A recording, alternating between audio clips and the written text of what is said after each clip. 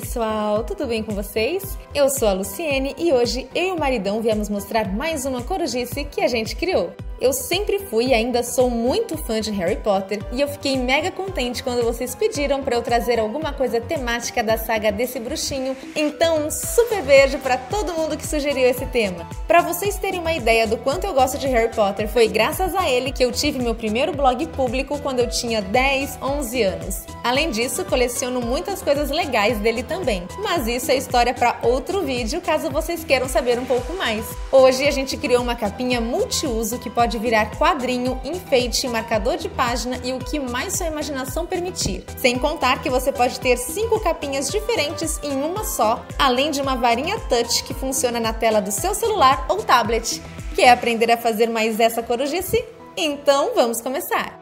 Esse tutorial serve para qualquer tamanho de celular e tablet. Basta usar as medidas do seu aparelho e seguir o passo a passo.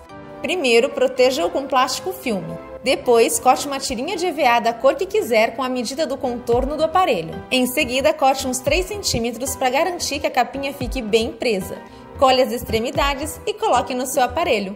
Agora, corte um pedaço de EVA no tamanho das costas do aparelho e cole na tirinha. Marque no plástico filme as aberturas que você quer que sua capinha tenha com canetinha hidrocor.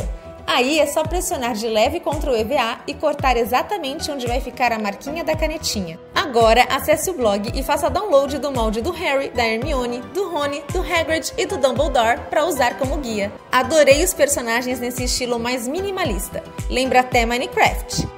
Se quiser fazer uma capinha de um personagem só, você pode cortar os detalhes no EVA e colar diretamente na sua capinha. Mas, se quiser fazer uma capinha 5 em 1, você vai precisar cortar 5 vezes no EVA o tamanho das costas do aparelho. Cada um vai representar um personagem. É só cortar e colar os detalhes em EVA nas cores correspondentes. Eu quis colocar a cicatriz do Harry no meio da testa porque quis seguir a história do livro. Mas, se você quiser seguir o padrão dos filmes, basta colar a cicatriz no lado direito da testa. Se for preciso, corte os cantinhos de cada personagem para ficar no formato da capinha. Agora, pegue velcro e cole um lado na capinha e o lado correspondente atrás de cada um dos personagens. Se você quiser esconder as camadas de EVA que aparecem na lateral, vou ensinar um truque. Caso você esteja fazendo uma capinha só de um personagem, é só escolher uma cor de EVA que combine com o personagem em questão. Mas se você estiver fazendo uma capinha multiuso como eu, escolha uma cor mais neutra que combine com todos os personagens.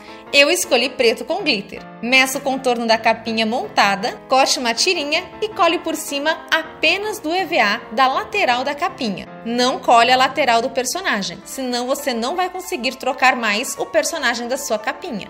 Caso seu aparelho tenha um design irregular ou muito arredondado, você pode fazer mais uma camada de EVA para garantir maior segurança. Basta medir a parte da frente do aparelho e cortar um EVA. Agora trace outro contorno com uns 3 milímetros para dentro. Corte a parte do meio e colhe a tirinha em volta da sua capinha.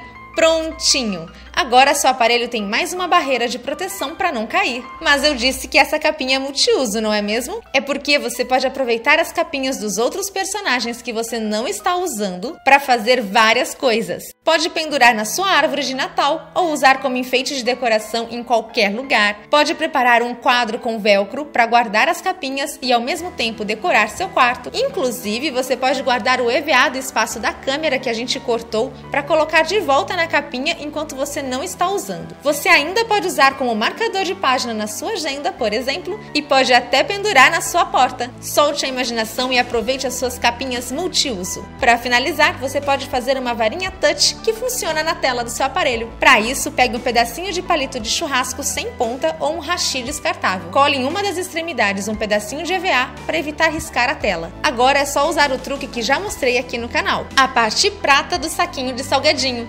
Limpe bem, deixe bem esticado na base e prenda com fita o restante do saquinho na madeirinha que você está usando. Faça o teste na tela do seu aparelho e termine de decorar com uma tirinha de EVA. Cole conforme contorna a madeirinha e faça o acabamento arredondado. Agora é só passar uma linha na agulha e dar um nozinho na ponta. Passe a agulha no EVA da varinha e depois passe de fora para dentro na capinha.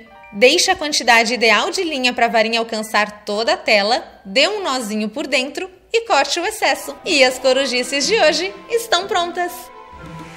Então, esse é o resultado do vídeo de hoje. Eu espero que vocês tenham gostado.